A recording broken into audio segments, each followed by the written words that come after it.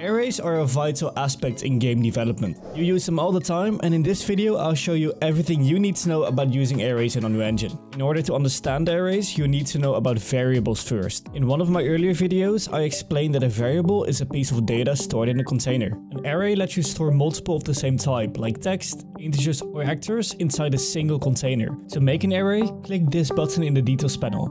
Select array and use the plus button to add entries can have duplicates and add as many as you want. What's important to understand is that arrays aren't just lists, they are ordered. Each entry gets an index starting at 0 and stays in that order unless it's changed. Here's a couple of examples of what arrays can do. Arrays can store multiple actors to toggle visibility, they can store multiple text entries for a dialog system, or you can make a whole inventory system using structs. As you can see, arrays are very versatile and they can be used in a lot of different ways but they are most interesting when used during runtime. Using blueprints you can change the content of arrays at any point. Here are some array tools that you will use all the time, including one I use in almost every blueprint I make. To start you have add and this will create a new entry at the bottom.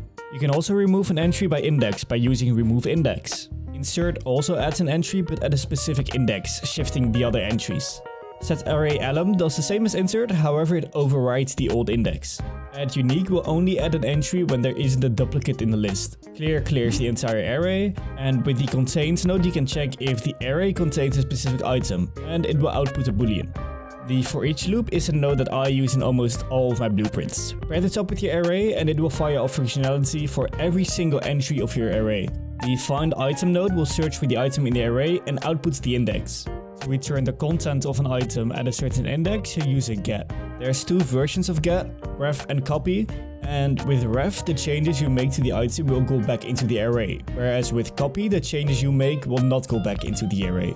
With the length node, you will get the amount of items the array contains. The shuffle node will reorganize the array, and lastly, the last index will give you the last index number of the array. And that should be everything you need to know about arrays. So, arrays store multiple items in an ordered list and allow duplicates. You can access and edit them anytime, perfect for dialog, inventory systems and a lot more. Arrays work with singular variable types and to get to know everything about those, make sure to watch a video that's on your screen right now.